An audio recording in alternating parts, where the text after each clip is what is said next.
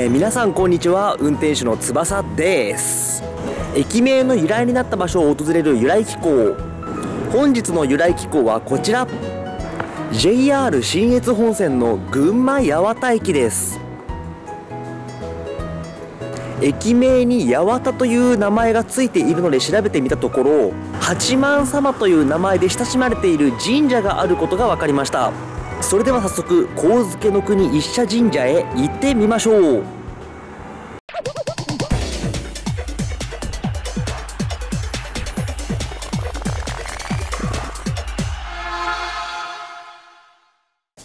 群馬八幡駅の改札を出ましょう。改札そして出口は一つだけですので分かりやすいです。駅前に道路がありますので方角西方向に進んでいきましょう。早速歩道がなくなりました。危ないですね、えー、後ろの車に注意しながら進んでいきましょう。横を用水路のようなものが流れています。ちゃんとした川なんでしょうかね。それとも普通の生活用水の用水路なんでしょうかね。道路も用水路もうねうね蛇行してますね。さあこちらの道突き当たりまで進んでいきましょう。突き当たりを右折方角北方向こちら側に進んでいきましょう。お何やら奥の方に見えています。さあ到着しました。こちらが群馬八幡駅の由来になった神付の国一社神社です。道路をまっすぐ進んで道路が Y 字になってますね。その Y 字の真ん中に門があります。面白い構造です。でいつも通り中覗いてみましょうか。門の中にはあーさんとうんさんがいらっしゃいます。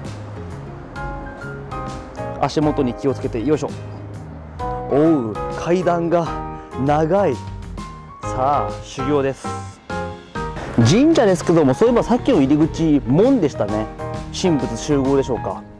さあ石段あともう一息。よいしょよいしょ。青空に入る鳥居の下でまた門が見えてきました。中に入っていきましょう。境内はこんな風になってるんですね。真ん中に拝殿。お水もあります。あ奥には鐘があるから鐘楼かな。それとこちらがステージがありますので神楽殿でしょうか。え。ー、拝殿の中にも入れます。あら天井がうん。いろいろな絵が飾ってありますね。ああはいへいへいへい。さあ賽銭箱に奉納しました。古いお札こちら。だるまを入れないようにってこれ群馬っぽいですね。中にも入れそうです。さて中にも入っていきましょう。お真っ赤っかで結構きらびやかですね。神殿の裏にもたくさんたくさん神様がいらっしゃいます。結構神様いらっしゃいますね。それと裏神様っていうものがありました。えー、なになに縁結び。そして安産の神様。あら結構女性にはご利益がありそうですね。たくさんの神様にご挨拶しましたら順路に沿って進んでいきましょう。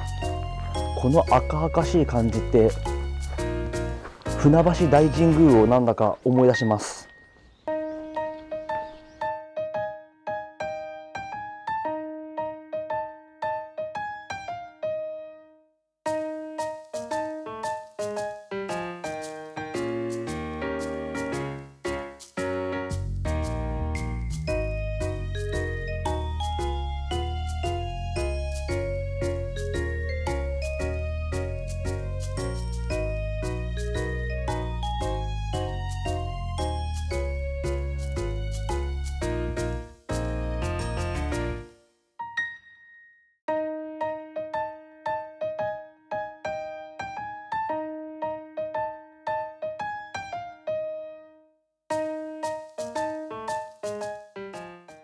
先ほどの突き当たりにまた戻ってきました。向こうはさっき言った神付一社八幡宮。そしてこっち側にも見るべきスポットがありました。線路を渡ってそのスポット見に行きましょう。もう一つのスポットがこちらです。国道18号からバッチリ見える。そして境内からもなんと見える神月一社八幡宮の鳥居です。でかい。さあ今回の由来機構皆様いかがでしたでしょうか？鎌倉幕府を作った源頼朝さんもこちら神付の国一社神社に来たことがあるんですね。それからこちらの鳥居ほんとすごく大きいです。